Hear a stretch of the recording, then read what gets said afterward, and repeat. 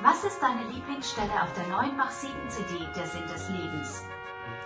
Was ich finde, ja eigentlich alle Stücke grenzgenial, aber am steilsten ist die Neiche von Alex, die teilweise mollige, weil die ist im Trio einfach so zart zum Spielen, dass es echt voll cool ist.